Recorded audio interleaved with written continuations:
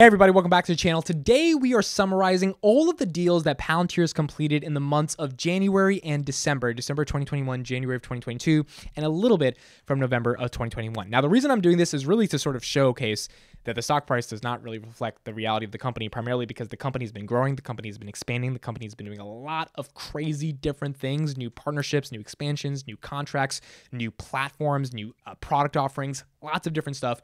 This video is going to summarize everything that's happened in the past two and a half months, uh, and hopefully it'll give you a better context of what a high growth tech company is doing that's trying to grow at 40, 50% year over year, and some of the moves that they're making. Again, I don't think the stock price reflects the reality of the company, and that means there is a massive buying opportunity here because when something is undervalued based upon the potential of what they've been putting in place, the foundations they've been putting in place, that's why I think. Um, it's important to sort of analyze and recognize as an investor like what's actually going on in the market and what's actually going on with the company that you're investing because you're buying a company not just a stock. Okay first deal. This happened around what date did this happen? This actually happened december 2nd 2021 palantir secured a $43 million contract with the space systems command. Now the space system commands is kind of like this part of the federal government that uh, manages what do they do? They manage the Air Force and they manage a lot of things that happen in space in terms of debris, national security, making sure that the International Space Station has all of its needs met, all of that stuff.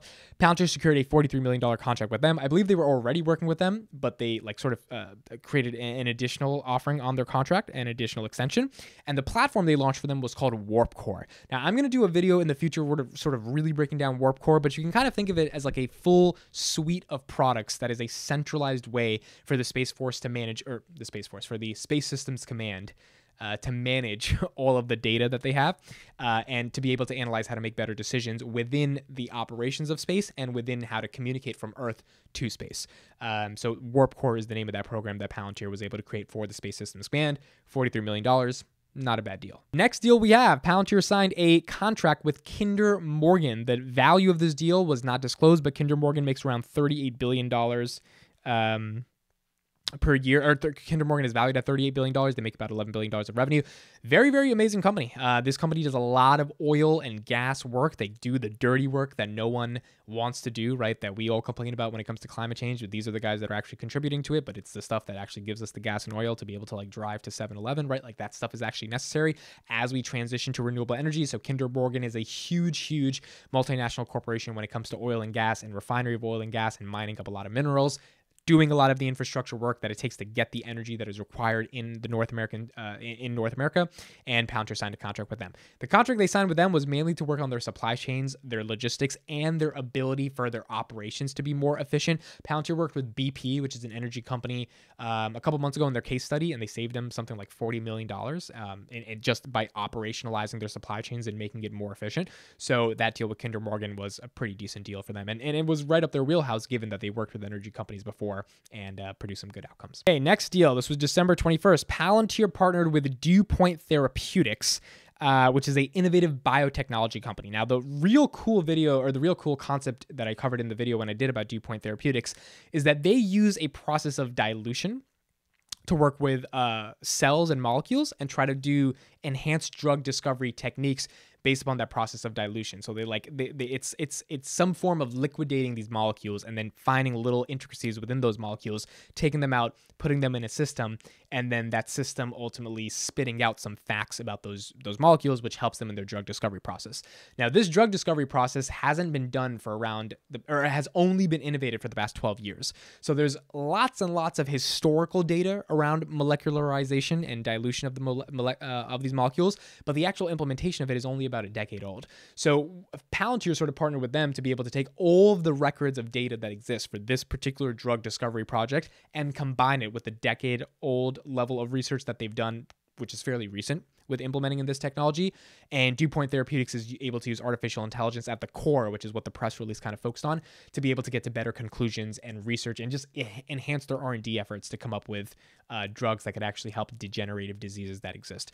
So another really really cool partnership. Not numbers not excluded on that but just a good just a good way for the health and life sciences and drug discovery community to know that palantir is working with a very innovative tech startup uh, or biotech startup that's trying to solve these problems. Gets their name out there gets their name more into the drug community and gets the name into a lot of other drug discovery companies that are a little that are, that are a little bit more legacy merck pfizer johnson johnson etc to potentially see the value of palantir. Okay, then on December 27th, we had uh, a dossier leak. Uh, the dossier, or I'm probably saying it wrong. Dossier, I'm definitely saying it wrong, but it's this basically like this article, not article.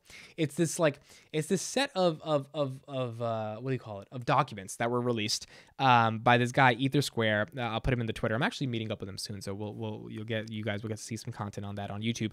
Uh, that saw that Palantir was working with a lot of different companies, and Wendy's, Pfizer, General Motors, and Comcast were the big ones there. The way he did this was he just tracked backlinks in Google that had the Foundry username in them, and when you went to them, if it was like I don't know uh, let's say Google at .foundry.com, the link would expire, it wouldn't work. But if it went to like Wendy's.foundry.com, uh, it would it would work and it would take you to like a username login section. And then you match that with the job descriptions that Wendy's is looking for, like Wendy's HQ, which is that we want someone who's skilled in Palantir or Foundry. You put two and two together, you're like, oh, these people are working with Palantir. Like it's just very obvious. So uh, some really, really big names and companies were released when that dossier came out. I'll put that in the description. But Wendy's, Pfizer, General Motors, and Comcast were the big ones that stood out to me.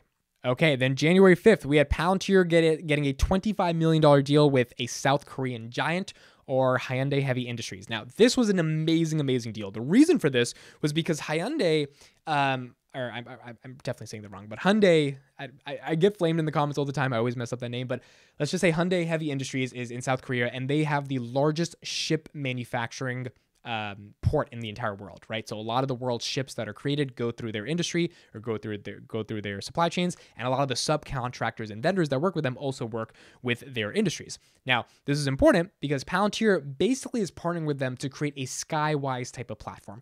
Skywise is the platform Palantir created with Airbus. And Airbus, this was back in 2017, Airbus basically wanted a like full stop, one stop shop of suite of products that was basically going to allow them to manage airplanes, manage marketing airplanes, manage supply chain of airplanes, manage how the airplanes are working in the sky with the FAA. Like there's a lot of different dynamics for like how can we make the airplane process from manufacturing to refueling to getting customers on the on, on the airplane and getting them to their destination as efficient as possible. And Palantir created that entire suite of products for Skywise uh, that was called Skywise in combination with Airbus, and it was able to become an industry standard now. And now we have like documents that United Airlines is using it and a bunch of this other stuff. So that is the same type of model that Palantir is creating with Hyundai Heavy Industries and they're building a ship building platform. So just like they built an airplane building platform, uh, sort of powered by data analytics, that's the exact same thing they're building for shipbuilding. And because they're the largest manufacturer in the world of ships, they also have to get rid of ships. It's an entire process to get rid of a ship and to create a ship. There's a lot of supply chains and logistics involved. So Palantir creating that platform can pay off really, really well over the next five years, especially with all the exposure they're getting in the South Korean region to all of these other third-party vendors and manufacturers that are going to be using Palantir and its platform. Okay, another deal that happened, not very specific to Palantir, but January 13th, a Palantir Foundry for Builders company raised $42 million in a Series B funding of venture capital. This is important because Peter Thiel who is the co-founder of Palantir, joined the board of that company. That company's name is Chapter. They're they are a data-driven uh, Medicare plan recommendation system. So like you give your data to them, they interpret that data, and then they give recommendations on which Medicare plan you should potentially choose. I didn't even know that could be that big of a business, but apparently data literally is the new oil. so they got valued at $42 million. The reason this was important for Palantir is because this was one of the first times I've heard of a foundry for builders company, um, which is like their their their program of like having uh, uh, their their software integrated within like these startups that really aren't successful yet, but at least they're like utilizing Foundry, so they're getting a lot of exposure to the startup community. And if those startups explode, then obviously they're going to be major clients of Palantir. Uh, th- that that startup raised forty two million dollars, so it was really significant to me that a Foundry for Builders startup on the backs of using Palantir integrated within the entirety of their organization, especially given their organization runs off of data driven decision making as the core value proposition for the product that they offer, raised $42 million. I mean, like that to me is a pretty big deal. That doesn't mean the company is going to be super successful, but that does mean that they used Palantir essentially to raise that money, right? Because if they didn't have Palantir, their product might not have been that successful, which means they don't get $42 million. So I thought that was pretty significant news for a Foundry for Builders company actually being able to raise big money. Okay, next piece of news. This actually happened on January 4th, 2021 or 2022, but I uh, I covered it on January 23rd. Palantir's SPAC investment in Wejo secured a deal with Microsoft. Now, Microsoft was already an investor in Wejo, but they created a new Neural Edge AI product, which at its core is just another connected vehicle data product for uh, customers. Let me actually read from their PR real quick. Wejo's new solution, Wejo Neural Edge, controls the flow of data from vehicles through edge processing in the car itself.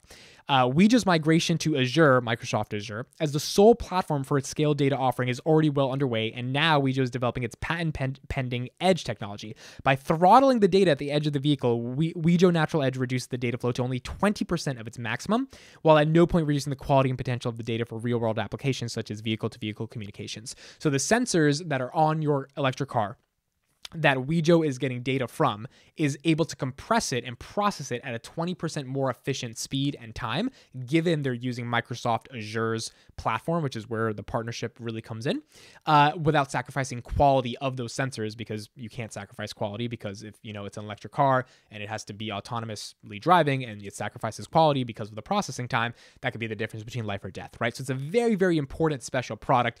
And this is a Palantir SPAC investment that was able to secure this new product offering with Microsoft. To me, I thought this was a pretty phenomenal deal because just being a, a small startup, Wejo is like a $4 stock, is basically like a penny stock, getting a deal with Microsoft. I mean, it shows so much potential going forward in the future. And, you know, they're building a product that a lot of other car manufacturers are going to have to use if you're not named Tesla, which is a pretty big market opportunity. So for Palantir to have the partnership with Wejo, that made a lot of sense to me as well. Okay, next thing that happened on January 16th, Palantir was awarded four new patents. Uh, the video of this I'll, I'll, put in the description, but the patents essentially were around the concept of, of, of data management in relationship to ontology. Now, ontology is a little bit of a complicated thing to understand. I did a video on it a while back, but ontology, the way Palantir describes it, is the relational database for how a user interacts with data and how the systems and methods within a software that interprets that data interacts with the user. So there's a symbiotic relationship with the user inputting the data or understanding the data and the platform, the software interpreting the data, giving the analysis based upon the complex things that the software does with the data to the end user. Palantir got awarded four new patents. A lot of it was around AI, a lot of it was around machine learning, a lot of it was also around VR stuff. So, and ontology and data all of it at the end of the day was around interpreting data analytics. They applied for these patents around 2017, 2018, and they were they were granted four of them legally uh, in 2022, January around 16, 17. That doesn't mean these patents are like the best thing in the world. They're going to stop all these competitors from going against Palantir, but that does mean they have legal precedence to take action with their patents because it's patent pending technology that is not pending anymore because they were officially granted it. Next, Palantir on January 19, 2022, uh, created a new partnership to transform supply chains. This was in combination with Matriana and DataWorks. These are in these are Canadian companies in combination or in partnership with the Canadian Innovation of uh, or uh, Center of Innovation. So these were specifically focused on auto retailers and their supply chains, and a lot of other supply chains, but auto retailers were the focus. Uh, Palantir was going to be implementing their technology in a lot of third-party contractors and vendors uh, in relationship to the other data company called Think Data that was able to provide them a lot of data analytics around the logistics specifically in Canada. Not a major, major deal from a financial perspective, but to get more exposure to the Canadian markets and to work with some of these downstream companies that are not Fortune 500 but are still getting exposure to Palantir Foundry, specifically in the supply chain niche, this was also an amazing deal for them on January 16th. And on January 14, 2022, Palantir launched their version of Amazon AWS certificates, which was basically an internal certification program. So Foundry is a flash flagship software that one day hopefully is, is going to be used by every major organization in the world for data analysis and data analytics, just like AWS is for cloud computing and hosting. Uh, if you have an AWS certification, which means you've like gone through exams and training and you've like skilled and you've you've like like answered a bunch of questions correctly and you know how to work with AWS, you're much more attractive as an employee as a as a person to be hired by employers because they know that you know how to be certified and work with AWS, which is integrated in a lot of organizations throughout the world. For Palantir to be able to normalize Foundry to the point where people that want to be data engineers, data scientists, and, and work in data analytics positions to have the capacity to be certified in Foundry so that employers already know that they know what they're doing, which makes it easier to hire them, just normalizes the platform more. It develops more of a developer community, and it allows Foundry to be one of those major platforms that if you can get certified in it, you have better job prospecting abilities, which means obviously other companies are using Foundry because if they want you to be certified in it, it's a mainstream platform that's being used in a variety of organizations. So it's only internally right now. So companies can offer the ability to get certified. It's not external to the public yet. But once that becomes external, I would say within the next year and a half, even maybe sooner than that, then there's a lot of potential for a lot more people, a lot more developers to get their hands on Foundry to be able to actually know how to use it and then apply to more jobs in places that are using Foundry a lot more often. And on January 13th, Palantir unveiled a new electric vehicle charging operating system in combination with their SPAC that we talked about before Wejo. So Palantir unveiled a new product offering for electric vehicle charging stations and the operating system for those electric vehicle charging uh, stations to operate. The sort of TL- TLDR on this is that electric vehicle charging stations don't operate like a traditional gas station. They have network operators, they have municipalities, they have cities, they have electricity, um, um, um, uh, electricity companies to be able to get the electric uh, electricity from to be able to charge the car. So like PSNG is PSENG is a good example. They have to communicate with a lot of different stakeholders that are involved, along with be effective at actually charge the car uh, if for, for the, the that from the electricity that they're getting, so that it effectively goes into the nozzle and like makes the car have an actual range. Tesla's supercharger network is phenomenal on this. It makes Teslas very reliable but other electric vehicles don't really have that same reliability. So there's got to be a lot of software involved in sort of a centralized suite that these electric charging stations are able to use so that they can communicate with another, whether you're in California at some electric charging station, doing a road trip down to New York at an electric charging station. The communication process between those and the communication process between those charging stations in this hyper specific locations that they are in, along with the national locations that they're in, because they're all taken from the national electric grid, is really what creates uh, this product offering. We Wejo is a leader in connected vehicle data. Palantir is a leader in data analytics. So the combination of both of those together to be able to create this product offering could mean that there is a good chance that the EV market for electric charging stations. That Palantir also invested in Tritium, which is a SPAC that creates uh, electric vehicle charging stations. They've sold 6,000 worldwide and they're being used in London right now. Means there's a big potential for this market to have Palantir's sticky fingers all over it in the next five years. Okay, two more updates on uh, January.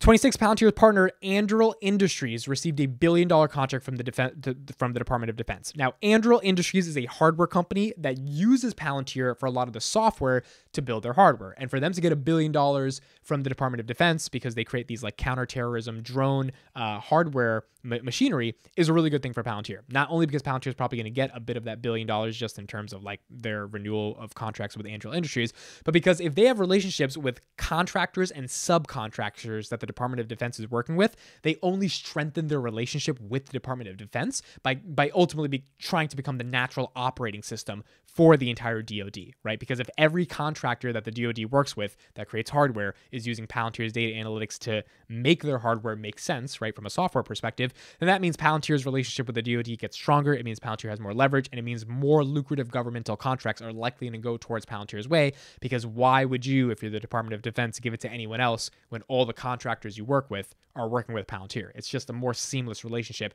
So at that point, their partner getting a billion dollars very good news for Palantir. Okay, finally, on uh, January 28th, 2022, which was just a couple days ago, Palantir unveiled three new things. Number one, they are hiring a former sales exec from Oracle. His name is Philip Matu. He was part of the uh, Asia Africa region to be able to make sure, and European region to be able to make sure that they got about $16 billion of revenue at Oracle, where he was a vice president of sales. He was skilled at developing sales teams to be able to actually scale the product that Oracle was offering. And that led to about $16 billion of sales. That was the first update. Number two, uh, they hired a thousand new employees. That was a LinkedIn update that they're looking for a thousand new people. And number three, they're expanding into Germany. So, a couple of things on this. Uh, the hire for Philip was awesome because you want a seasoned sales executive who is able to actually produce results at another major, you know, software technology company like Oracle to want to work with Palantir. And one of the quotes that he said in the press release was that he believes that the demand for Palantir's operating system is exponential, and he believes that they have the chance to truly become the operating system for the modern enterprise. So, the guy who did $16 billion of of revenue and sales as a result of his efforts in a particular region. Now using that same region with all the connections he's made and all the experience he's had to bring that business hopefully to Palantir, very, very good sign, very, very good hire. And number two, they're hiring a thousand people. A lot of these, I think, are going to be sales roles, which makes sense because you just hired a big vice president of sales from a former technology company. So at that point, I think a lot of th- they're ramping up the ability for them to, to to get sales and marketing. They're hiring a thousand people. A lot of those roles are going to be sales oriented, which means a lot of more sort of door to door. Hey, do you want to buy Palantir? Stuff is going to start happening. And number three, they're expanding into Germany. Now, this is not only cool because Karp knows Germany, uh, German, how to speak German, and he got his PhD in Germany. Uh, and and you know we all love Karp. But one of the cool things about this is Germany is one of the biggest centers for supply chain. Uh, China is a big place for supply chain, but Germany is also a huge place for a lot of the raw materials that go into creating the water bottles or pencils that you buy that come from China. As a result, with Omicron and the pandemic happening, and also supply chains not being that optimized, Tesla and Apple just had their earnings calls and they pretty much admitted, hey, we're growing, but these supply chains are really constraining constraining our growth, means that there is a level of, and Tesla actually has a factory in Berlin, right? So like supply chains are really big in, in the Germany region. Uh, that means supply chains do have to be more optimized and made more efficient. And Palantir being able to penetrate that region, it's the second account outside of the France account, that France location that they have in the EU, means they're able to expand more into the EU, get more uh, market share in the EU, get more exposure to the EU, and also be able to develop relationships with a lot of other companies that exist in the EU that are primarily rooted in supply chain logistics, contracting, being vendors, et cetera, et cetera. Those partnerships can be super substantial for Palantir. They just have to be in Germany to be able to make those partnerships. And hiring a thousand people, getting a new vice president of sales, and expanding into Germany to me is an amazing sign for them again. So those are all the updates for Palantir. I don't know how long this video is. I'm going to try to get it down, but I think that's like at least 10 or 11 deals that I mentioned. A lot of stuff has happened in the past. Oh, one more I forgot to mention the Army Vantage deal. They secured $116 million from the Army. This is around December 17th, 2021. Um, so this was this was part of an ongoing contract. They won the third year of that deal, so they were already supposed to get it, but they had to prove that they were worthy of getting it. And the Army Vantage officially secured that they were worthy of getting it on December 17, 2021. So another $116 million contract for Palantir. As you can see, uh, a lot of stuff has been happening over the past couple months. Company's been making a lot of progress. Uh, if you're an invested shareholder in the company and you're following what the company is doing, it's it's it's kind of hard not to be impressed by all of the moves that they've been making. And we expect that, you know, as a high growth technology company that's trying to grow, you expect them to be able to make a lot of moves to get this stuff done. But to see them do what they've done rel- in a relatively short amount of time in terms of new partnerships, new operations, new product offerings, and really new lucrative contracts from the from from the government, it, it it helps you it helps you feel better at night about the investment because you see that they're really trying to to ultimately go for it. So those are my thoughts. Let me know any thoughts you have in the comments. Let me know if you missed anything, and let me know what were or let me know if I missed anything. Let me know what were your favorite deals that were announced out of the 11 or 12 that I mentioned uh, over the past couple months. Which ones got you the most excited, and which ones also allowed you to have more optimism and conviction in your investment in the company. Thank you guys for watching. My name is Amit. I'll see you in the next one.